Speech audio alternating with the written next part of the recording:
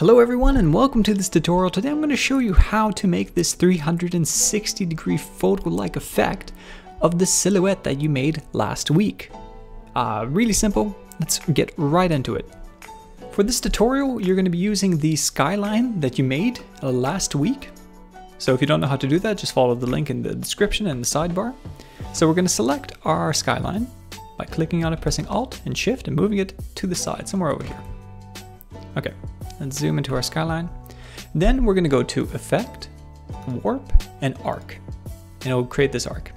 I want to make sure that the arc is horizontal, the bend is at 100%, and then you can choose your distortion. If you want some these buildings to stick out a bit more than they actually do, you can use this distortion and bring it towards a negative value. Something like that. And if you bring it to negative 100%, that disappears. And you press OK. Good. Having done that, what you want to do with the object selected, go to Object and Expand Appearance. Okay? Select your object, Control C, Control Shift V. Okay, so we've just copied and pasted in place. Press R right in the middle there and hold Shift to rotate it by 90 degrees.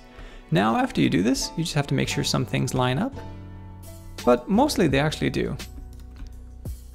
So that's all there actually is to this uh, tutorial. You've created your little circle.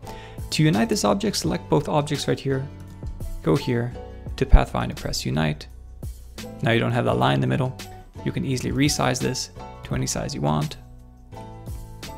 And you have your little 3D bubble view of your city. That's all there is to it.